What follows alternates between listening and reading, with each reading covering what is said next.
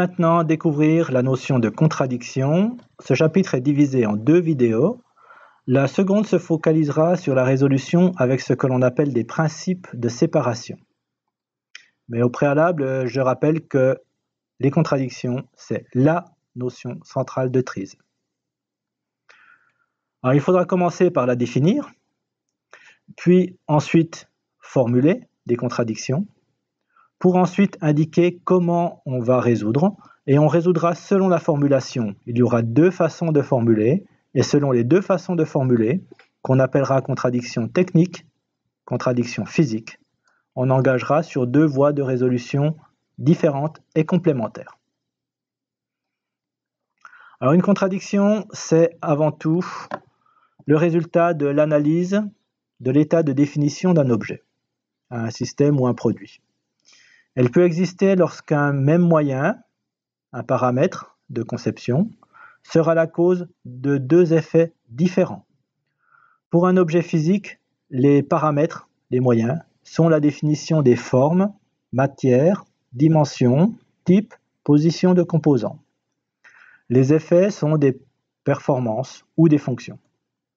Mais on peut généraliser. Un moyen, c'est ce que l'on sait modifier directement. Un effet, c'est une conséquence d'une modification. Alors plus précisément encore, une contradiction apparaît lorsque la modification d'un paramètre cause entraîne la modification de plusieurs effets dont l'une des modifications est évaluée bénéfique et l'autre néfaste. L'une souhaitée, l'autre non désirée. Alors notons quand même que dans la pratique, ce schéma va très rapidement se complexifier. Et c'est dû aux dépendances multiples entre les causes et les effets. Ceci a été évoqué dans une vidéo précédente. Il peut y avoir plusieurs contradictions sur un même objet, et c'est même très courant. Alors pour lire ce schéma, euh, il faut voir les traits en gras des traits montants, comme des relations causales. Si moyen, alors effet, ou si cause, alors conséquence. Euh, par contre, les flèches en pointillés indiquent l'ordre du raisonnement que l'on tient habituellement. On part fréquemment d'un souhait d'améliorer une performance, on imagine une cause permettant de, mais il y a d'autres conséquences. Alors un exemple. C'est une simple balance de ménage mécanique. Elle comporte un ressort qui se déforme de façon proportionnelle à la masse que l'on pose sur le plateau. Cette déformation est ensuite amplifiée par un mécanisme pour faire tourner l'aiguille. Voici l'aiguille. La lecture de la masse s'effectue sur un plateau transparent. Une balance idéale devrait être compacte, pas chère, précise, capable de mesurer une masse importante, plusieurs kilogrammes, Ici, on est à 1, 2, 3, on verra la suite. Dans la pratique, c'est toujours un compromis. Alors, je rappelle qu'une contradiction, c'est un seul et même problème. C'est l'incapacité de pouvoir ajuster le moyen pour obtenir les deux effets en même temps. Lorsque l'on cherche à obtenir l'un, on dégrade l'autre, ou inversement. On va l'exprimer sous deux formes complémentaires. Une expression sur les effets, les conséquences. Je ne sais pas obtenir A et B en même temps. Une expression sur les causes. Il y a une raison pour moduler un paramètre cause dans une direction et une raison pour le moduler dans une autre direction ou de ne pas le modifier.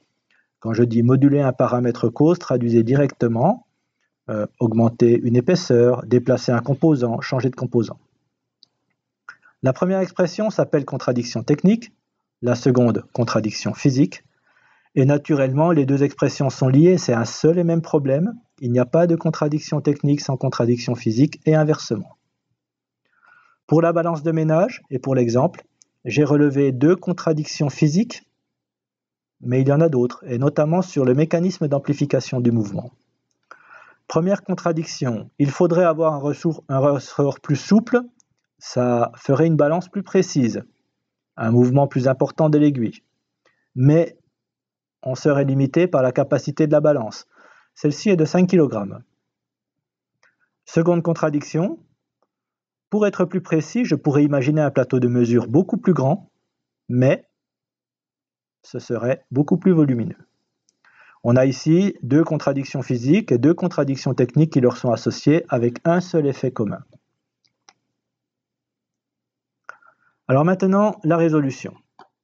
Il existe une procédure applicable en partant d'une expression sous forme de contradiction technique et une autre procédure pour une expression sous forme de contradiction physique. Lorsqu'on parle d'une contradiction technique, Tries propose une liste de 39 paramètres.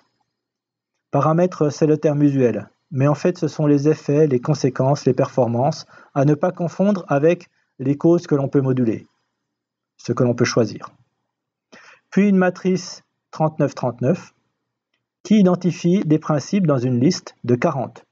Donc il y a des outils à chaque étape, une liste de 39 conséquences, une matrice 39 x 39 et une liste de principes. C'est là l'origine des 40 principes. C'est une procédure guidée, mais également longue. Elle a aussi pour avantage de ne pas nécessairement demander une analyse très poussée des causes. Alors j'ai fait le choix comme pour les principes, de ne pas la détailler ici.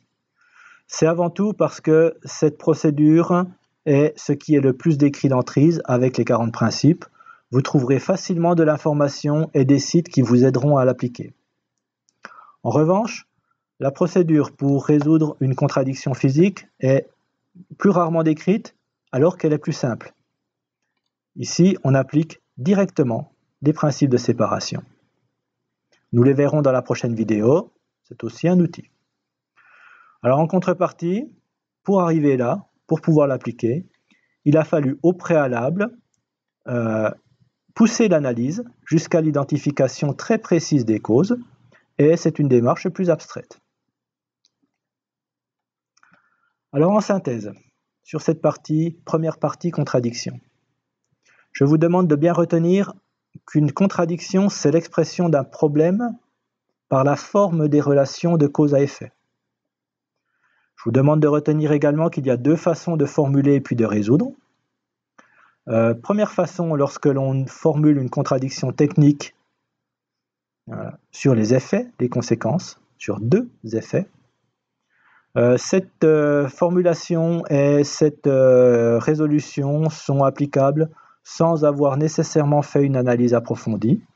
Elle engage sur une suite d'outils qui sont assez bien décrits, assez couramment décrits, 39 effets, matrices, 40 principes. Et une contradiction physique, c'est l'expression d'un problème par les causes euh, qu'il faut avoir au préalable bien analysé et c'est là la principale difficulté. Et la résolution passera par l'application de principes de séparation ils sont au nombre de 11, mais nous verrons dans la vidéo suivante qu'il est judicieux de les synthétiser en un nombre plus restreint. Alors avant de passer à la suite, je vous invite maintenant à répondre au quiz.